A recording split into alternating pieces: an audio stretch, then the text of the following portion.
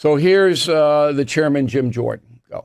Quote, Mr. Weiss has full authority to bring cases in other jurisdictions if he feels it's necessary. That was your response, Attorney General, to Senator Grassley's question on March 1st, 2023. You just referenced it when Mr. Bishop was questioning you. Only problem is he'd already been turned down by the U.S. Attorney in the District of Columbia, Mr. Graves. So he didn't have full authority, did he? I had an extended conversation with uh, Senator Grassley at the time. We briefly touched on the Section 515 question and how that process went. Um, I've My never been simple. suggested. My point's real simple, Mr. Garland. You said he had complete authority, but he'd already been turned down. He wanted to bring an action in the District of Columbia, and the U.S. Attorney there said, no, you can't. And then you go tell the United States Senate under oath that he has complete authority. I'm going to say again that uh, no one had the authority to turn him down. They could refuse uh, to partner with him. They could You not. can use whatever you, you, language refuse to partner is turning down. Well, it's not the same under a well-known Justice Department practice. Oh, just Barney Fife. That's who that guy reminds me of to do the sitcom motif. Well, here's the truth. Uh, U.S. attorneys uh, Matthew Graves in D.C. and Martin Estrada in California refused to help David Weiss. Okay? Merrick Garland could have ordered them to help David Weiss. He did not. He did not order them.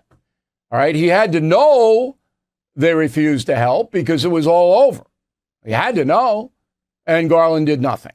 All right. That's not full authority, so Garland's not telling the truth. He goes, Oh, well, uh, they can refuse to partner. Uh, it's just garbage. And this is why people think the government's corrupt, because it is. Garland is a corrupt man. It's right on display. Those two sides to that story. He's being deceptive, Garland.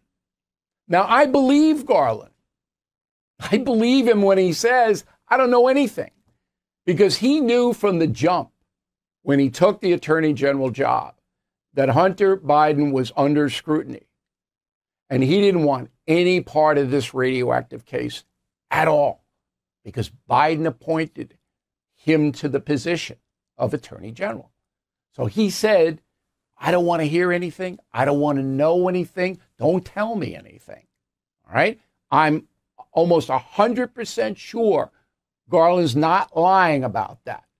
But here is the final nail, and I couldn't believe the Republicans didn't ask him this.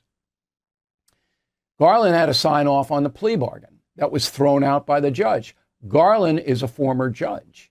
He had to know the clause in the plea agreement, the initial plea agreement, that said you, the federal government, cannot prosecute Hunter Biden for any other crimes the rest of his life was never going to fly. Garland had to sign off on that plea. He couldn't recuse himself. That's the final nail in this deceptive man's coffin.